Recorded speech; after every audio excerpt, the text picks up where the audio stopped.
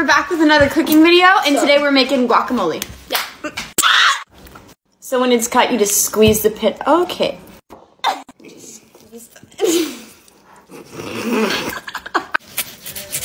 the onion. Don't cut me, for real. This is serious, actually. I don't know why you were laughing. Yeah, it's not funny stupid. at We all. were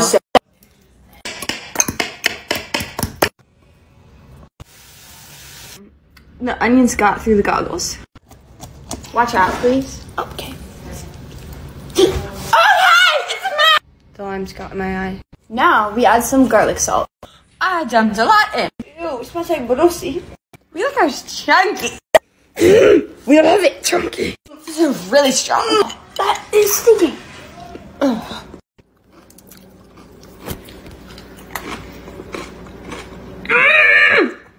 The flavors are melting on my tongue. Actually, really good. Eleven. That was the best guacamole I've ever had. Mm, that does look so good. Everyone try our recipe.